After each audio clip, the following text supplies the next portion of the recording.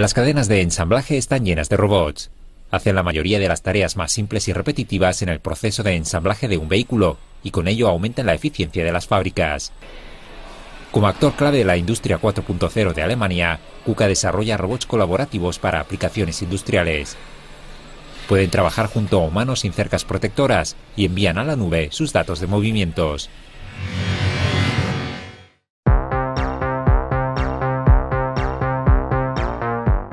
Estamos viviendo un periodo de cambios, donde la robótica y la automatización se han colado sin darnos cuenta en nuestra vida cotidiana. ¿Cuánto entendemos de este proceso? ¿Cuáles son sus oportunidades y desafíos? Pensar en robótica te conducirá hacia esas respuestas. Bienvenidas y bienvenidos.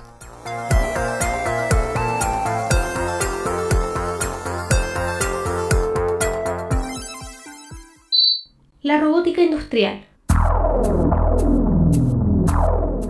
Las industrias atestadas de trabajadoras y trabajadores realizando tareas repetitivas y monótonas está llegando a su fin de la mano de los robots industriales. De hecho, según la Federación Internacional de Robótica, existen 2,7 millones de robots trabajando en las fábricas de todo el mundo, una cifra récord que representa un aumento del 12% en comparación con el año anterior, totalizando una producción anual de 373.000 unidades.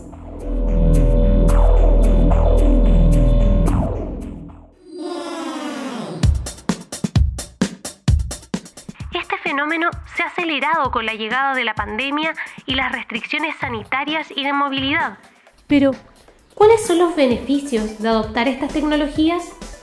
Los principales incentivos se centran en la producción rápida y la entrega de productos personalizados a precios competitivos, lo que representa no solo el sueño de los productores, sino también de las y los consumidores cada vez más impacientes y exigentes.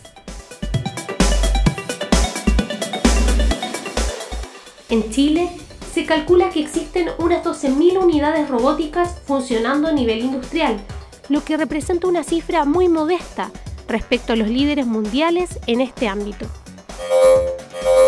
En este sentido, cabe preguntarse, ¿el país está preparado para transformar su industria en una 4.0 en donde los robots sean actores claves?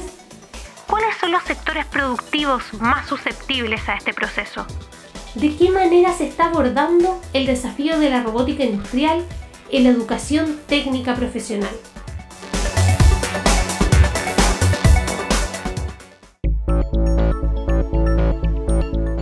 Para responder estas interrogantes, conversamos con Félix Donoso, líder del track de robótica del Centro de Innovación y Transferencia Tecnológica CIT, de la Escuela de Informática y Telecomunicaciones de Duoc UCED.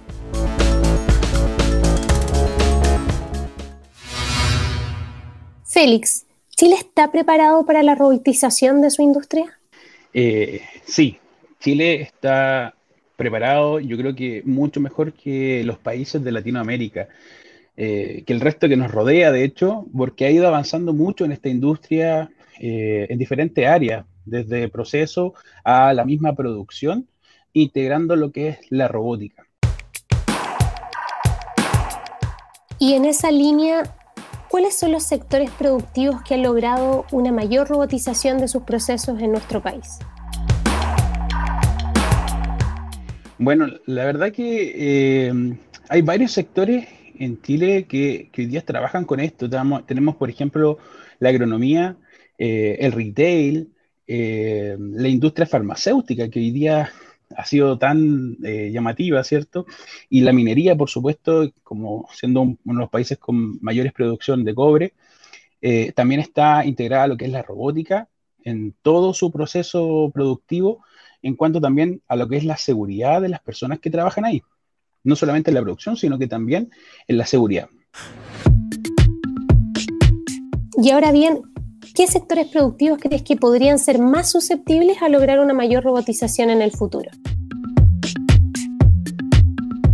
Buena pregunta, porque yo, bajo mi experiencia, bajo lo que hoy día estamos trabajando con distintas áreas, municipalidades, por ejemplo, colegios, creo que todas las áreas están eh, expuestas o son susceptibles para trabajar con lo que es la robotización.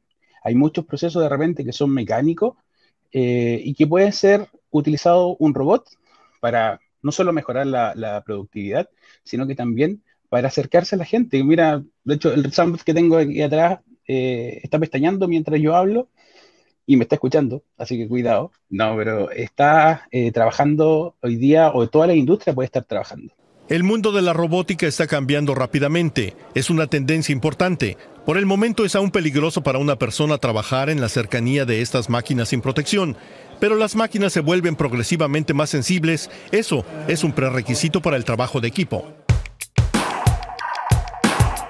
Y a propósito justamente de lo que mencionas de esta susceptibilidad que todos los sectores productivos tendrían de robotizarse y automatizarse, uno de los principales temores que suscita este proceso de robotización industrial es la pérdida de empleo. ¿Crees que ese temor es fundado o solo responde a una idea preconcebida que se ha instalado socialmente? Bueno, yo creo que ese temor viene desde siempre. Cada vez que algo en la industria cambia, desde las primeras quizá incluso revolución industrial, hay un temor dentro de la gente, dentro de la población, que tiene miedo a perder su empleo. Pero básicamente hoy día la robótica no viene a eso. La robótica hoy día se integra con las personas, eh, es una relación robot-humano eh, que permite poder mejorar la producción, tener productos hoy día que son incluso de primera calidad, visualizados por equipamiento, por robots, por sensores, que ayudan incluso a tener em, mejores producciones. Y frente a este desafío que supone la robotización, ¿qué se requiere para lograr que este proceso de robotización de las industrias locales vaya de la mano con un desarrollo sostenible tanto a nivel nacional como regional? Eh, yo creo que básicamente eh, el desarrollo se va generando cuando la gente empieza acercarse a la tecnología. Vámonos más atrás, cuando la gente quizá era incluso reacia a usar un celular o andar con un dispositivo y hoy día tenemos todo un celular, incluso más de uno. Entonces, cuando nos vamos acercando a la tecnología, la gente, las personas se empiezan a dar cuenta que básicamente van haciendo una ayuda y nos permite a nosotros poder acercarnos a, este tipo de, de elementos y poder integrarlos dentro de todos los procesos que hoy día nosotros vivimos a diario. Pero ¿cómo se podría motivar a las industrias locales para que se incorporaran robots o una mayor automatización en sus procesos productivos? Bueno, yo creo que eh, la forma de motivar a la, empresa puede ser eh, mostrándole prototipos, mostrándole prototipos del funcionamiento, eh, mostrándole cómo puede mejorar la organización, la empresa, tener mayor incluso cercanía con sus trabajadores eh, y por ende, perdón, eso va a lograr o va a permitir que las industrias se quieran relacionar con lo que es la eh, robótica. En este gigantesco galpón ubicado en Lampa se construyen casas y edificios, así como lo escuchan, casas y edificios, todo sin levantar ninguna nube de polvo. Acá producimos como tres veces más de lo que se produce en un día normal en la construcción, y no con un látigo sea, de normal. ¿Cuál es el secreto de esta superproductividad? ¿Cómo en un galpón se construyen casas y edificios? La respuesta es este robusto brazo robótico, el sistema de construcción con hormigón más moderno de Latinoamérica. Aquí lo vemos en acción. El proceso de robotización va de la mano de la formación de capital humano avanzado dada tu experiencia en la academia y particularmente en la educación técnica profesional, ¿cómo crees que se está llevando a cabo este proceso? Bueno, eh, este proceso yo creo que está formándose dentro en Chile en general. Eh, como te mencioné hace un momento, somos pioneros dentro de Latinoamérica con lo que es robótica. Hoy día tenemos robótica en institutos, en universidades, incluso en colegios. Y eso eh, demuestra que hay un interés dentro de la sociedad, dentro de las instituciones de educación superior, a poder implementar este tipo de tecnología que básicamente van eh, en ayuda de las personas. Y a propósito justamente de lo que mencionas de que la robotización y la, educación en robótica está en, colegios, ¿crees que es importante que la alfabetización digital comience a impartirse en los primeros años de escolaridad para garantizar una mejor relación humano-robots en el ámbito productivo? De todas maneras, de todas maneras, creo que eh, cuando acercamos a los niños y a las niñas eh, de edades más pequeñas, 5, 7, 8 años, por ejemplo, a, interactuar con robots, eh, que hoy día quizás son robots que les permite quizás incluso sumar, restar, eh, los va acercando a esa tecnología y no los deja tan fuera de la misma.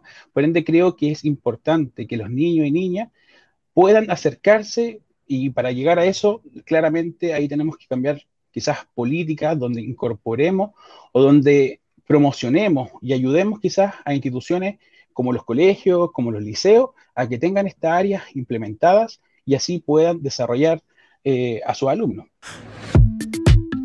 ¿Cuál es el rol de la inteligencia artificial en el perfeccionamiento de la robótica industrial? El rol de la inteligencia artificial en realidad es parte de la robótica. La inteligencia artificial obviamente eh, es muy importante. El, robot, por ejemplo, Sambot, Piper y así un sinfín de, equipamiento que existe hoy día en robótica, los brazos KUKA, etcétera, eh, están integrados con lo que es la inteligencia artificial. Básicamente, el robot sin inteligencia artificial nosotros lo podríamos quizás programar, pero son acciones que están ya programadas, o sea, que va a tener un movimiento de A al B, del B al C, pero cuando integramos eh, inteligencia artificial, el robot es capaz de, de, reconocer, de conocer, incluso, por ejemplo, cuando conversa una, eh, un robot con una persona, por ejemplo, el robot Piper, eh, puede reconocer emociones. Y eso está asociado a la inteligencia artificial, que es donde básicamente, en este caso, los robots o la robotización en general va aprendiendo de lo que va viviendo cada día. No quisiera terminar esta conversación sin preguntarte justamente a propósito de la pandemia y la robótica industrial. ¿Crees que los robots pueden ser una alternativa de solución a la disminución de productividad que se ha generado a propósito de los confinamientos y las restricciones de movilidad? O sea, eh, la robótica puede ayudarnos a solucionar muchos factores, muchas problemáticas que nosotros tenemos hoy en día en general. Y claramente quizá una disminución hoy día por el tema de las, de cuarentenas, de la baja movilidad, etcétera, puede ser subsanada, entre comillas, por un robot o por un sistema robótico industrial. Para llegar a eso, obviamente, eh, hoy día existe la tecnología y tenemos que aplicarla. Eh, y para eso también tenemos que capacitar cada día a más personas a que se integren y que obtengan y adquieran todos estos conocimientos que hoy día Chile eh, como les mencionaba, hoy día está dentro del ranking, quizá incluso número uno dentro de Latinoamérica. Por ejemplo, en un caso súper puntual, eh, Duoc eh, el año pasado, en diciembre, compró un robot Piper, un humanoide, un robot que tiene rostro, que tiene dedos, que mueve los brazos, y eso, y ese robot, perdón, eh, está presente hoy día en cuatro países de Latinoamérica, perdón, en cuatro lugares en Latinoamérica. Y dentro de Chile si no me equivoco, son tres. O sea, por eso cuando yo digo que la robótica está eh, muy bien lograda o, ha ido avanzando, mejor dicho, de muy buena manera en Chile, y gracias a que las empresas, las instituciones, las instituciones de educación superior han creído y han apostado en que hoy día este equipamiento de robótica eh, puede llegar a ser un aporte y no va a generar un problema con las comunidades que ya obviamente están en sus puestos de trabajo, en las líneas productivas, sino que van a ayudar a mejorar esos procesos. Muchas gracias, Félix, por tu análisis. Gracias a ti. Industrial robots are an important means to increase productivity within a limited labor force. However, installing picking robots in the distribution and logistics industry has been considered impossible since the robots need to handle a diverse and wide array of items. But one Japanese company is overturning the conventional norms about industrial robots. Los robots industriales son parte de la cotidianidad de las fábricas asiáticas. Sin embargo, uno de los países líderes en su adopción es Japón, quien se ha transformado en el segundo mayor mercado global con 355.000 robots industriales instalados. A ese antecedente se suma que es el mayor fabricante de robots en el mundo, donde incluso los robots ensamblan robots. Se estima que el 47% de la producción mundial de robots se fabrica en Japón y hay industrias como la eléctrica electrónica donde tiene una participación del 34%, similar a la industria automotriz con un 32%.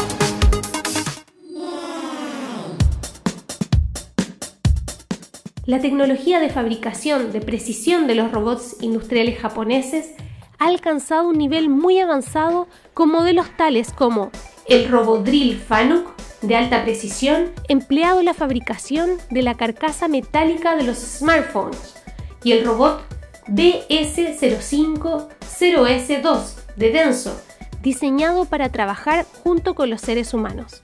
¿Te imaginas las fábricas chilenas tan robotizadas como Japón?